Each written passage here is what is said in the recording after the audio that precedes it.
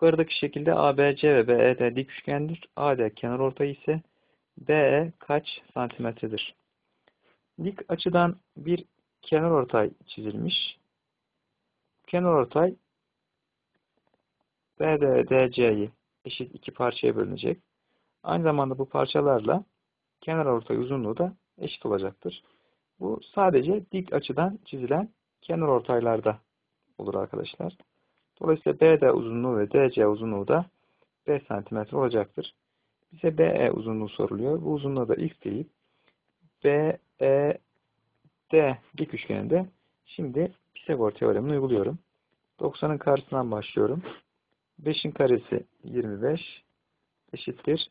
x'in karesi artı 2'nin karesi o da 4.